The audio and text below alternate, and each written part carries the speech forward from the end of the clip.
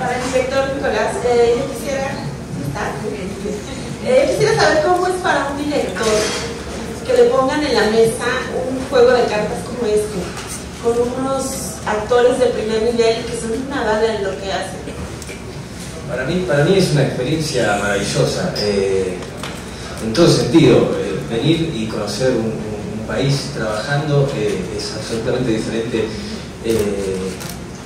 Conocer a, estos actores que, me, me, demuestran todos los días lo, lo, lo maravillosos que son. Ya, desde el primer Zoom que hicimos, donde, hablamos y un poco los, los vi, me, me, quedó claro, absolutamente claro con quienes estaba hablando.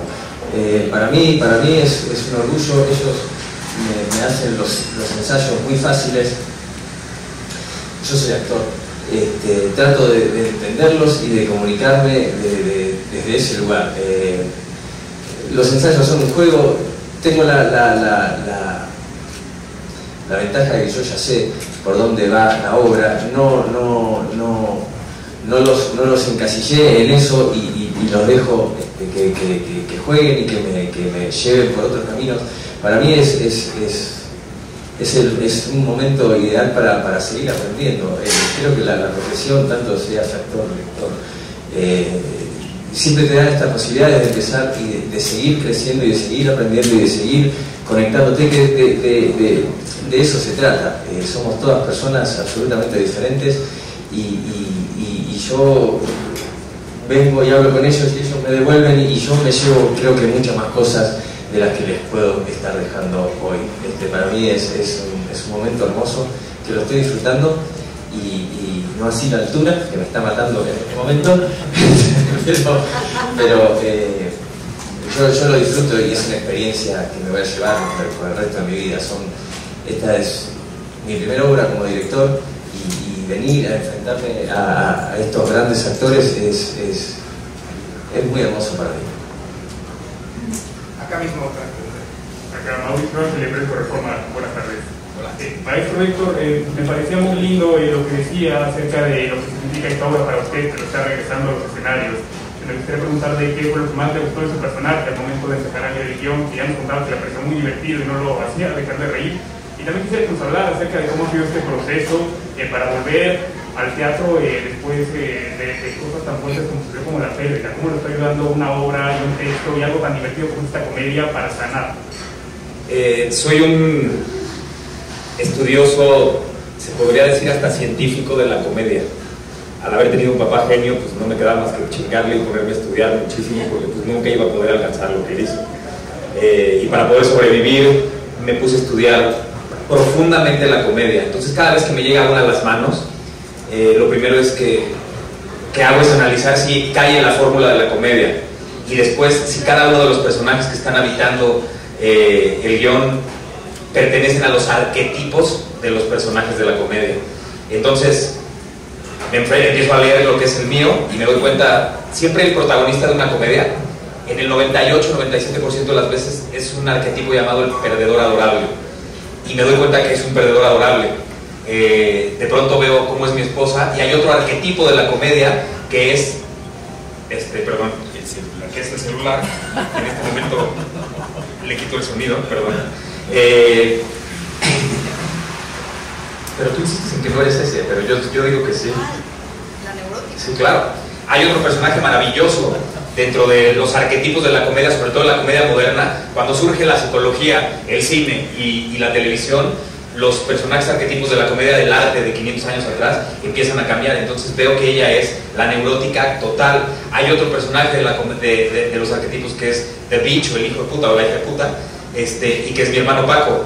Luego hay otro que es el tonto, eh, que es mi hermano, mi hermano Luis. Eh, luego en la comedia del arte hay uno que se llama Marineta, que es la, la mujer madura, neurótica, histérica, este, y demás, y es la señora Porras. Eh, son las señoras Porras. Confundiendo los arquetipos, ¿eh? Entonces, cuando, cuando veo que está clarísimo y definido en las primeras ocho páginas estos, estos personajes, me empiezo a enamorar. Y luego la comedia es bien sencilla, digo, la fórmula. Una persona común y corriente, o varias personas comunes y corrientes, llenas de defectos, no pueden tener virtudes, enfrentando uno o más problemas sin las herramientas, el conocimiento la técnica para enfrentarlos, a pesar de ello se la rifan y salen adelante.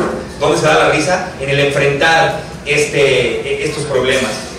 Llego a la página de verdad 15, 16 y era una locura. O sea, no paraba de reírme, pero además de imaginarme físicamente lo que estaba ocurriendo en el escenario y le, le, escribí a Morris y dije, Morris, o sea, no hay, no hay de otra, o sea, tengo que hacer esto, es maravilloso, está extraordinariamente bien escrito. Y de Ray Cooney yo había hecho Sabes quien pueda, que es otra, otra gran comedia, entonces eso fue lo que me convenció.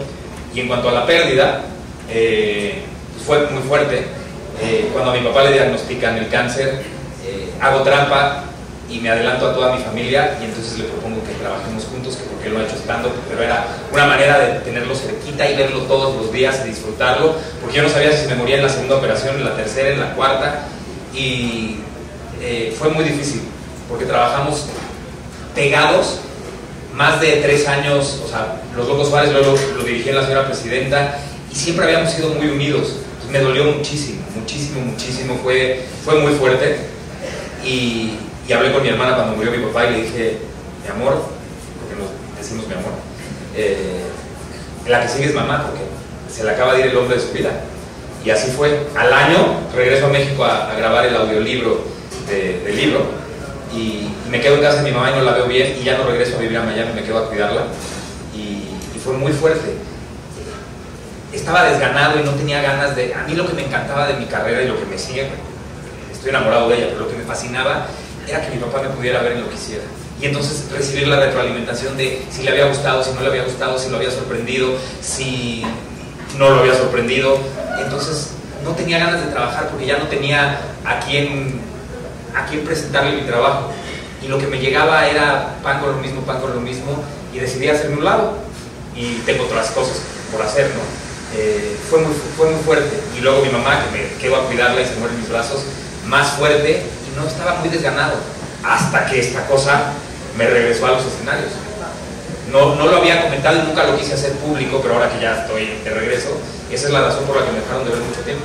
No tenía ganas de trabajar porque no había quien me viera eh, y no había a quien dedicarle mi trabajo porque toda mi vida fue mi papá.